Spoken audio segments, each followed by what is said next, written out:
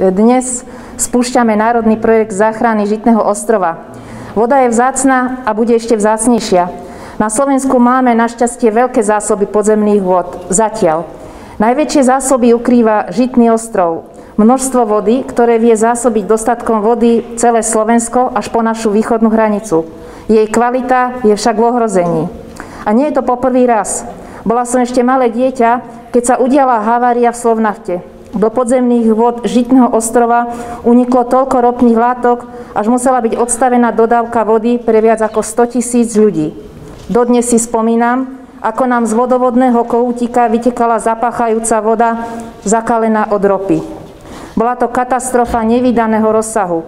Boli zasiahnuté aktívne studne na pitnú vodu. Nebola iná možnosť, ako zmobilizovať odborníkov a nájsť riešenie, ako haváriu zastaviť. Trvalo desiatky, 10 ročia, kým sa dalo povedať, že situácia bola zvládnutá.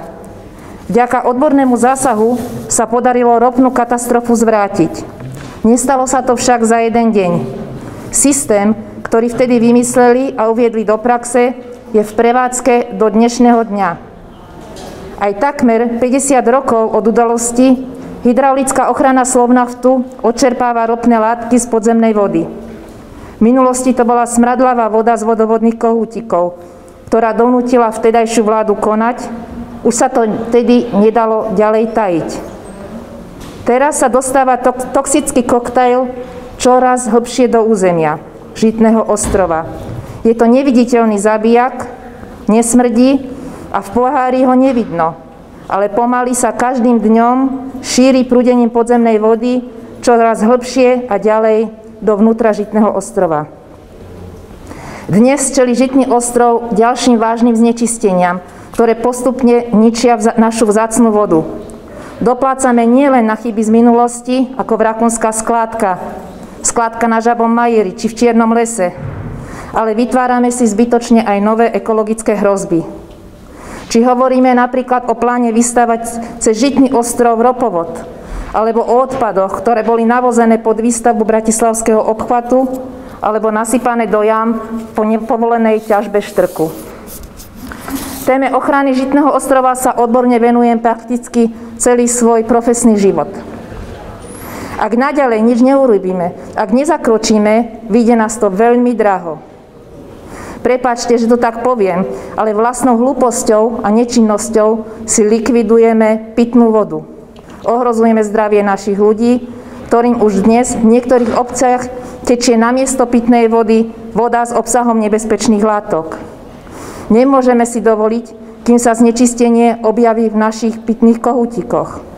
Dnes na základe tejto tlačovej konferencii informácie nás prišiel aj podporiť pán starosta obce Hviezdoslavov Marek Lackovič, ktorý je jednou z postihnutých obcí na Žitnom ostrove. Vážený dá, vážené dámy a páni, kde je vôľa, je aj cesta. Oceňujem, že súčasná vláda, vrátanie ministra Jana Budaja, si túto tému osvojila a v záchrane Žitného ostrova vidí prioritu. Naše odhodlanie sme pretavili aj do programového vyhlásenia vlády a teraz je na čase hľadať kvalitné a efektívne riešenia. Keď to dokázali pred polstoročím, dokážeme to aj my. Navrhujem preto, aby sme dali opäť hlavy dokopy a našli efektívne opatrenia, ako zabrániť šíreniu znečistenia do podzemných vod Žitného ostrova. Vyzývam preto celú slovenskú spoločnosť, všetkých odborníkov, vedcov, či už v oblasti hydrogeológie, ekológie, ale aj vás, ľudí, občiansky aktívnych, ktorí sa téme venujete, aby ste neváhali a zapojili sa do národného projektu záchrany Žitného ostrova, ktorý dnešným dňom spúšťame. Vyzývam vás a pozývam, aby ste prispeli, prispeli so svojím podnetom a návrhom riešenia. Formulár na vyplnenie nájdete na tejto adrese. Nápady budeme zbierať do konca leta. Tie najlepšie a najefektívnejšie vyhodnotíme spolu s odborníkmi a predložíme vláde na čo najrychlejšiu implementáciu národného projektu záchrany, záchrany Žitného ostrova, funkčného opatrenia, ktoré nás musí prežiť a zaistiť čistú pitnú vodu aj pre naše deti. Ďakujem vám všetkým vopred, že vám záleží na záchrane zásoby pitnej vody a som si istá, že spolu to zvládneme. Vláda Slovenskej republiky prvé kroky k ochrane Žitného ostrova už urobila. V programovom vyhlásení vlády sme dali definitívnu stopku výstavbe ropovodu cez tento Žitný ostrov. Je jasné, že toto nie je odkazom nielen pre verejnosť, ale aj pre ostatných partnerov, ktorí sa na príprave takéhoto projektu podielali. A to trasovanie toho prepojenia tej družby na Švechat cez ten Žitný ostrov jednoducho do budúcnosti nepôjde. V tomto prípade sa naozaj pre nás stala prioritnou ochrana prírody a ochrana voda. Jasne sme to deklarovali. Je to na úkor možno, že nejakých investícií v následujúcich rokoch, ale vždy je to lacnejšie, ako keby sme museli sanovať nejaké prípadné ekologické havárie ktoré už spomenula aj moja kolegyňa Anka Zemarová, ktoré sa tu v minulosti práve v súvislosti s ropou udiali. Vždy sme podporovali nové myšlienky aj počas koronakrízy a toto je výzva naozaj pre všetkých odborníkov aj lajkov. A ministerstvo hospodárstva bude partnerom takéhoto budúceho riešenia, ktoré vznikne, alebo ktoré vzíde z projektu záchrany Žitného ostrova lebo to nebude len o tej geológii, ale o dvomyselnom ekologickom riešení, ktoré bude v prevádzke ďalších 10 ročia. E, súčasne ministerstvo hospodárstva sa zúčastňuje aj na rokovaniach s inými partnermi. Najbližšie 16.6., teda o dva týždne, absolvujem stretnutie s rakúskou ministerkou pre digitalizáciu, obchod a podnikanie, pani Margaret Schremböck, ktorá má v záujme e, prediskutovať aj e, túto tému toho trasovania tohto ropovodu. Odchádzam, alebo pôjdem na toto rokovanie s jasným odkazom, že ak sa do budúcnosti máme baviť o prepojení ropovodu Družba s rafinéniou vo Švechate, tak jedine mimo Žitného ostrova. Minulý týždeň sme spolu so starostom mestskej časti Ružinou Martinom Chrenom informovali o tom, že podávame podnet e, proti alebo ohľadom nelegálnej skládky v Ivanke pri Dunaji, ktorá ohrozuje podzemné vody. Žiaľ, problém skládky v Ivanke pri Dunaji nie je jediný. Župa, mesto, mestské časti obce si neporadia samé, preto sme sa spojili v tejto zostave, v aké nás dnes vidíte a ideme hľadať systémové riešenie o ktorom vás už informovala pani Zemanová a pán Galek.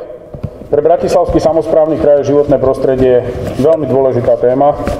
Ako kraj, ktorý je veľmi priemyselný, podliehame mnohým ohrozeniam a medzi to najvážnejšie patrí práve znečisťovanie podzemných, ale aj povrchových vôd. Podľa aktuálnych údajov Enviropont portálu je na území BSK evidovaných 223 environmentálnych záťaží, z toho pravdepodobných je 83, reálnych je 39 a máme aj 81 sanovaných a rekultivovaných lokalít. Prevencia je pre nás strašne dôležitá a zabrániť trasovaniu ropovodu zo Žitného, cez Popodžitný ostrov na Švechat považujem naozaj za veľmi nešťastný nápad a BSK určite bude robiť všetko preto, aby sa tento projekt nerealizoval.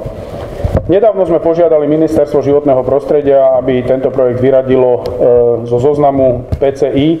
To sú zoznamy, o ktorom sa, zoznam, o ktorom sa konzultuje Európska komisia a sú to tzv. kandidátske projekty v oblasti ropnej infraštruktúry.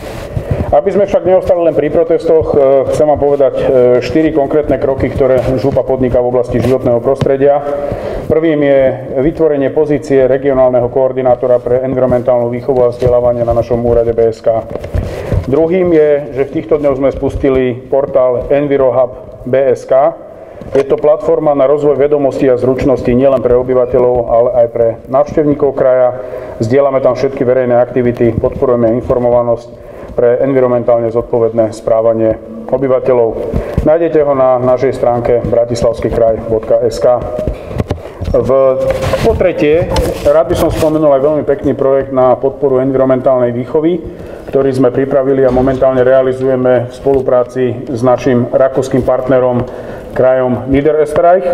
Je to regionálne ekocentrum e, v Čunove a robíme ho teda hlavný partner je rakúsky, ale podiela sa na ňom aj maďarský partner v rámci cezhraničnej spolupráce. Je to veľmi pekná ukážka, ako dokážu regióny spolupracovať e, naprieč hranicami. No a štvrté je zokruhovanie dvoch cyklomostov. Ideme stavať aj druhý cyklomost ponad rieku Moravu. E, bude to taká asi 20, 20 kilometrový úsek na slovenskej strane. Prejdete mostom na Rakúsku, môžete sa vrátiť naspäť do Devinskej Novej Vsi. Tá, tá dĺžka je taká akurát aj na rodinné výlety, takže dúfam, že do skončenia môjho žup, župného mandátu e, sa nám podarí tento most e, opäť v spolupráci s rakúskou stranou dostavať. No a už úplne na záver poviem iba to, že Župa sme jediný samozprávny kraj, ktorý má vicežupanku pre životné prostredie.